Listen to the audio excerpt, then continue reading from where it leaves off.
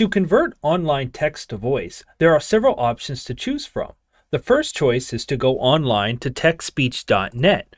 From here, simply copy and paste the text that you want to be read online, and you can simply press play. There was a large audience assembled on the 14th of January.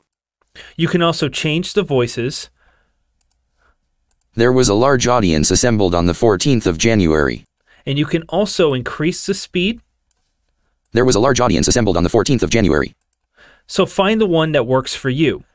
Another option for text to speech is to copy and paste the material into Microsoft Word. From there, we're going to head over to Review and click on Read Aloud. The 14th of January, 1862, at the session of the Royal Geographical Society.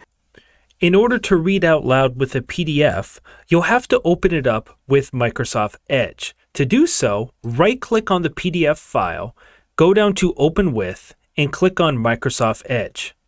From there, if you click the Read Out Loud button, it will read it.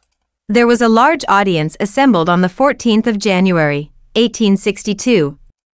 They also give you options to change the voice and the speed.